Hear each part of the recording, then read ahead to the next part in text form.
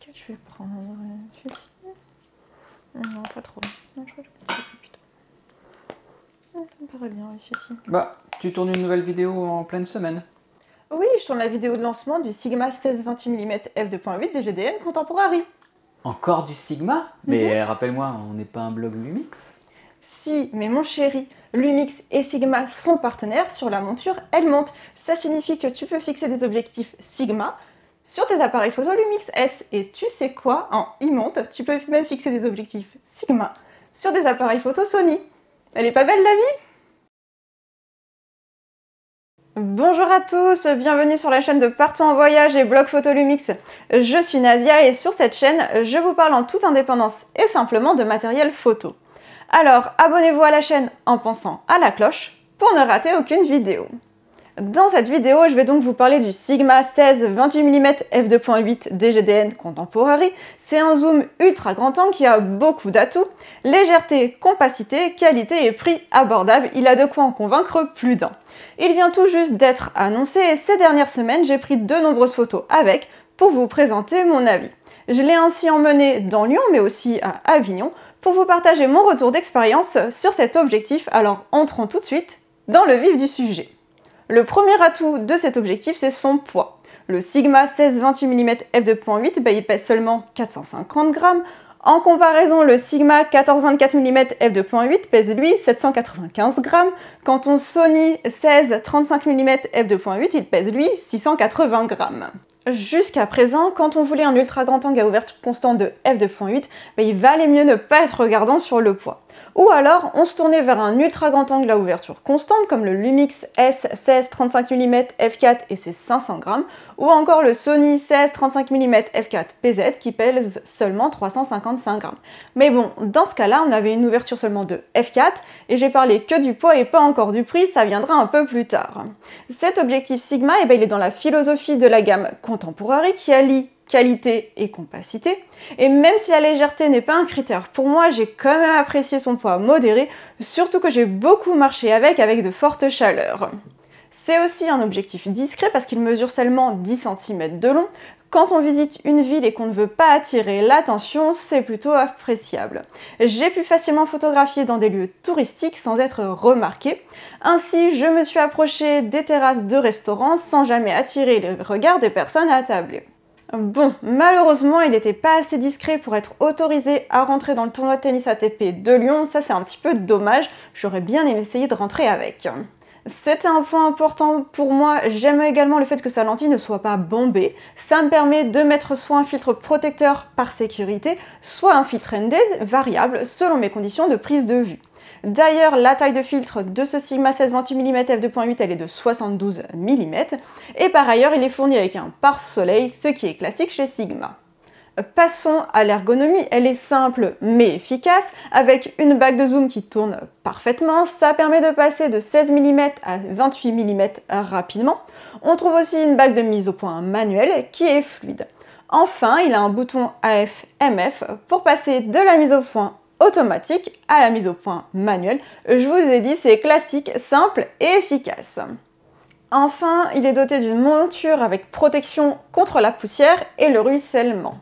Sa formule optique, elle est composée de 16 éléments répartis en 11 groupes avec 5 lentilles à faible dispersion et 4 lentilles asphériques. Quant à son diaphragme, il est composé de 9 lamelles. Au-delà de ces termes techniques, je possède de nombreuses optiques Sigma qui ont toutes une très belle qualité d'image et ce Sigma 16 28 mm f2.8, eh ben, il ne déroge pas à la règle. Pour être complète, je vous précise que cet objectif n'est pas doté de la stabilisation optique. J'ai envie de dire c'est tout à fait normal sur un objectif ultra grand angle, donc vous ne reniez pas sur la stabilisation optique en choisissant cet objectif plutôt qu'un autre. Niveau compatibilité, c'est important, il peut être fixé en L-mount avec les Lumix S Sigma FP et Leica SL, et en e-mount avec les Sony plein format tels le Sony A7 IV, le Sony A7S3 ou encore l'A7C pour ma part, je l'ai fixé avec un Lumix S5, un duo que j'aime beaucoup. Avant d'aller plus loin sur la partie compatibilité, bah, j'en profite pour vous faire savoir que vous pouvez me soutenir en achetant votre matériel via les liens en description. Cela ne vous coûtera rien mais permettra de me soutenir dans la création de contenu pour les blogs et la chaîne. Sur la partie compatibilité, donc ça signifie que vous n'avez pas besoin de bac d'adaptation. Et l'autofocus fonctionne également. D'ailleurs, je dois dire que j'ai trouvé le même comportement d'autofocus entre cet objectif et les autres que je possède.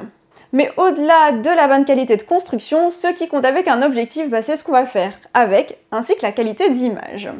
En termes de qualité d'image, je vais encore me répéter, mais comme on peut s'y attendre avec une optique Sigma, on obtient une belle qualité de photo avec cet ultra grand angle. Même si j'ai photographié avec une version de pré-production, je n'ai pas constaté de défaut optique flagrant, pas d'aberration chromatique ni de flair, et seulement un peu de vignettage à f2.8 qui se corrige très facilement en post-traitement. Je dois dire que je l'ai testé à tous les niveaux d'ouverture et dans tous les cas, j'ai obtenu des photos nettes et détaillées, des points sur lesquels je suis exigeante. Gardez bien ce que je vais dire en tête parce que ça rend son prix encore plus incroyable, mais c'est un ultra grand angle à ouverture constante de f2.8. Ça permet ainsi d'obtenir un joli bokeh, d'autant qu'il a une distance minimale de mise au point rapprochée. Et voilà pour la partie qualité optique que vous pourrez constater tout au long de cette vidéo à travers les photos qui défilent. En termes d'usage, dès que j'ai appris la sortie de cet objectif, j'ai su qu'il aurait toute sa place dans les sacs photos et notamment ceux des voyageurs, une thématique qui m'est chère. L'ultra grand angle, c'est à mon avis un indispensable en voyage, tant pour photographier des villes que des paysages. Et de ce point de vue, sa plage de zoom qui débute à 16 mm et va jusqu'à 28 mm est vraiment pertinente. À 16 mm, on a le champ de vision idéal pour toutes les fois où l'on manque de recul. Devant un immense édifice, une ruelle étroite ou un paysage grandiose, on va pouvoir photographier avec en plan large. C'est tout l'intérêt de l'ultra grand angle, c'est de venir apporter du recul là où on n'en a pas. Dans Lyon, j'ai pu photographier la basilique Fourvière, là où habituellement à 24 mm je n'ai jamais assez de recul. D'ailleurs, on voit tout le temps des apprentis photographes se tordre ou s'allonger sur les splanades, mais sans ultra grand angle. Même en se contorsionnant, ça ne marche pas. C'est un ultra grand angle qu'il vous faut pour photographier la basilique Fourvière. Sa plage de zoom, elle va jusqu'à 28 mm. On attend donc le début d'un zoom standard. Ça permet de pratiquer tout autant de la photo d'architecture que de la photo de rue ou de paysage quand on ne manque pas de recul. Ainsi, j'ai aisément photographié l'ambiance de la ville et notamment les jolies terrasses des restaurants. Face à un immense lac ou une chaîne de montagnes, photographier à 16 mm apporte soit du recul, soit un rendu original en montrant la grandeur de la nature, c'est quelque chose que j'aime beaucoup. Mais je dois dire qu'habituellement en ultra grand angle, j'utilise un 16-35 mm.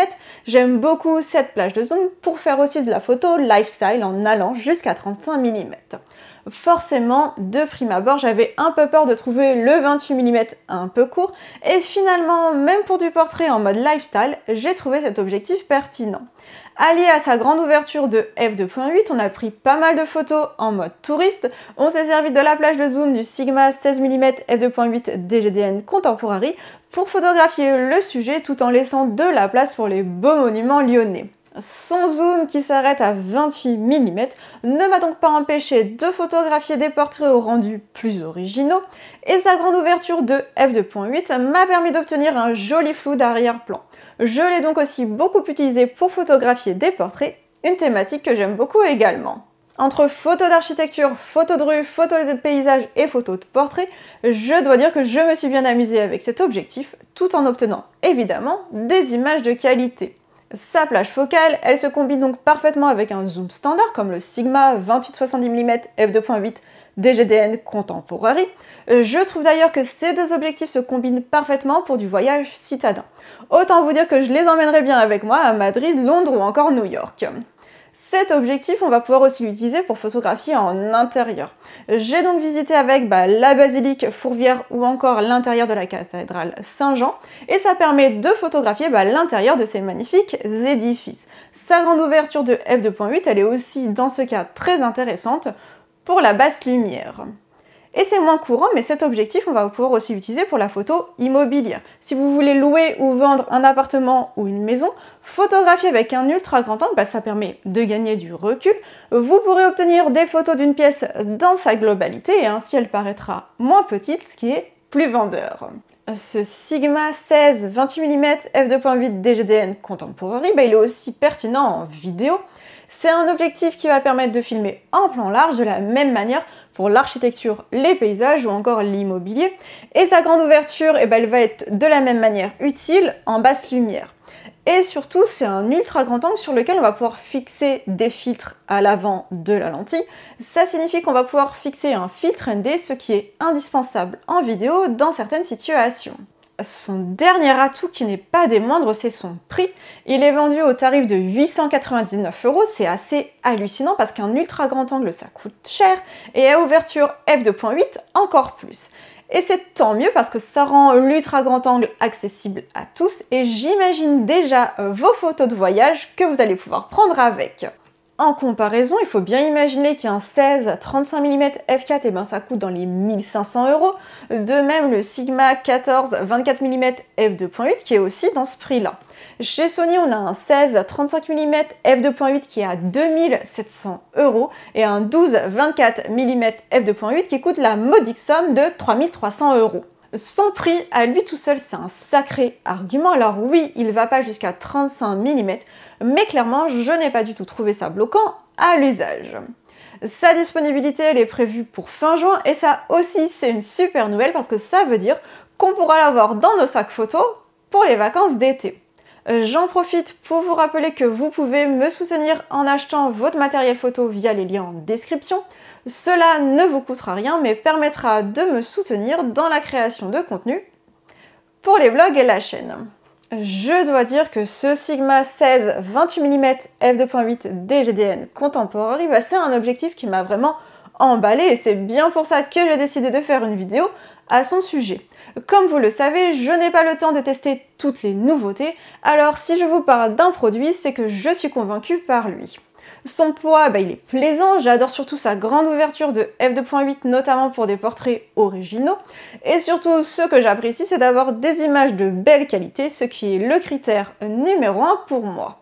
Mais alors vous, est-ce que vous avez besoin de cet objectif? À mon avis, le Sigma 16 28 mm f2.8 DGDN Contemporary, bah déjà il s'adresse à vous si vous possédez en L-mount un Lumix S, un Sigma FP ou encore un Leica SL, et en e-mount si vous possédez un hybride Sony Alpha plein format. Cet objectif, il vous conviendra si régulièrement vous manquez de recul en photo ou en vidéo, si vous prévoyez un séjour dans une grande ville, que vous pratiquez la photo d'architecture ou de rue, que vous voulez photographier en plan très large des paysages, c'est clairement l'ultra grand angle du voyageur. Il ira aussi au photographe immobilier et on peut l'emmener dans son sac photo pour des portraits originaux. Enfin, j'ai envie de dire surtout, si vous avez un budget serré et que vous cherchez un ultra grand angle, bah, c'est le meilleur choix. Cette vidéo est maintenant terminée, j'espère qu'elle vous aura plu. Je compte sur vous pour laisser un pouce vers le haut, vous abonner à la chaîne en pensant à la cloche ou encore laisser un commentaire. Quant à moi, je vous donne rendez-vous sur partonsvoyage.com et blog-photo-lumix.com pour plus de contenu et je vous dis à bientôt